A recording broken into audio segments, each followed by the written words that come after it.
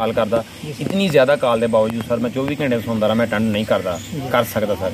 ਤੁਸੀਂ ਸੈਟਅਪ ਸ਼ਾਇਦ ਥੋੜਾ ਜਿਹਾ ਮੇਰਾ ਦੇਖ ਹੀ ਲਿਆ ਅਗਰ ਤੁਹਾਨੂੰ ਘੰਟਾ ਦੋ ਹੋਇਆ ਹੈ।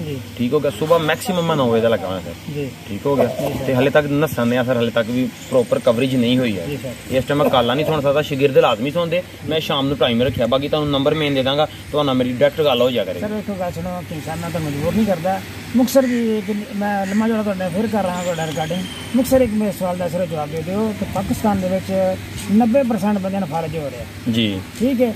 ਕਿਹੜੀ ਅਸੀਂ ਪਰਹੇਜ਼ ਕਰਨ ਤੇ ਬੰਦੇ ਬਚ ਸਕਦੇ ਨੇ ਫਾਲਜ ਤੋਂ ਜੀ ਅਸਲਾਮ ਵਾਲੇਕੁਮ ਜੀ ਵਾਲੇ ਆਪਣਾ ਜੀ ਅਸਲਾਮ ਵਾਲੇਕੁਮ ਸਭ ਤੋਂ ਪਹਿਲੀ ਤਾਂ ਗੱਲ ਹੈ ਜਨਾਬ ਜਿਹੜਾ ਤੁਸੀਂ ਫਾਲੇ ਦੇ ਬਾਰੇ ਪੁੱਛਿਆ ਸਭ ਤੋਂ ਮੇਨ ਇਹਦਾ ਰੀਜ਼ਨ ਜਿਹੜਾ ਨਾ ਉਹ ਹੈਗਾ ਫਾਸਟ ਫੂਡ ਯਾਨੀ ਪਕੌੜਾ ਸਮੋਸਾ ਪਰਾਠਾ ਪੀਜ਼ਾ 버ਗਰ ਟਿੱਕਾ ਬੋਟੀ ਮਲਾਈ ਬੋਟੀ ਕੋਲਡ ਡਰਿੰਕ ਐਂਡ ਤੇਜ਼ਪੱਤੀ ਚਾਹ ਵਗੈਰਾ। ਠੀਕ ਹੈ। ਇਹ ਕਰਦੀਆਂ ਕੀ ਜਨਾਬ? ਬੋਡੀ ਦੇ ਅੰਦਰ ਤਜ਼ਾਬੀਅਤ ਦੇ ਲੈਵਲ ਜ਼ਿਆਦਾ ਵਧਾਉਂਦੀਆਂ। ਠੀਕ ਹੋ ਗਿਆ ਜਿਹਦੇ ਨਾਲ ਬਲੱਡ ਪ੍ਰੈਸ਼ਰ ਜ਼ਿਆਦਾ ਵੱਧਦਾ ਵਾ ਜਦੋਂ ਬਲੱਡ ਪ੍ਰੈਸ਼ਰ ਜ਼ਿਆਦਾ ਵੱਧਦਾ ਜਨਾਬ ਫਾਲਜ ਹੁੰਦਾ। ਹੁਣ ਇੱਥੇ ਅਹਿਮ ਪੁਆਇੰਟ ਇਹ ਹੁੰਦਾ ਬਲੱਡ ਪ੍ਰੈਸ਼ਰ ਕਿਉਂ ਵੱਧਦਾ? ਠੀਕ ਹੋ ਗਿਆ ਬਲੱਡ ਪ੍ਰੈਸ਼ਰ ਸਰ ਇਸ ਤੋਂ ਵੱਧਦਾ ਕਿ ਜਿਹੜੀਆਂ ਅਸੀਂ ਗਜ਼ਾਵਾਂ ਖਾਂਦੇ ਐਕਸਟਰਾ ਫੈਟ ਵਧਾਉਂਦੀਆਂ। ਬਲੱਡ ਪ੍ਰੈਸ਼ਰ ਨੂੰ ਅਗਰ ਮੈਂ ਸਿਰਫ ਦੋ ਲਫ਼ਜ਼ਾਂ 'ਚ ਬਿਆਨ ਕਰਾਂ ਇਹਨੂੰ ਸਿਰਫ ਬਲੱਡ ਥਿਕ ਯਾਨੀ ਖੂਨ ਗਾੜਾ ਹੋਣ ਨੂੰ ਕਹਿੰਦੇ। ਜੀ। ਕੋਈ ਵੀ ਚੀਜ਼ ਆ ਸਰ ਉਹਦਾ ਪ੍ਰੈਸ਼ਰ ਬੰਦਾ ਰਹੇਗਾ ਬੰਦਾ ਰਹੇਗਾ। ਜਦੋਂ ਓਵਰ ਹੋਏਗਾ ਸਰ ਵੇਨ ਲਾਸਟ ਬਲਾਸਟ ਹੀ ਹੋਏਗੀ।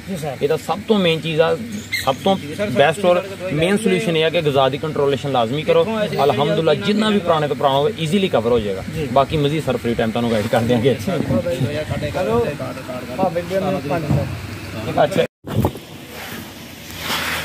ਹੁਣ ਬਣਾ ਲਓ ਜਿੰਨੀਆਂ ਮਰਜ਼ੀ ਬਣਾ ਲਓ। ਨਹੀਂ ਜੀ। ਤਾਬੇਦਾਰ। ਵੀਡੀਓ ਇਹਨਾਂ ਨੇ ਮੈਨੂੰ ਨਹੀਂ ਚੈਨਲ ਤੱਕ ਮੈਂ ਫਾਲੀ ਦੀ ਛੁਰੀ ਦੱਸੀ ਹੋਈ ਸਰ। ਸਰ ਮੁਕਸਰ ਜੰਦੇ ਬਿਆਨ ਕਰ ਦਿੰਦੇ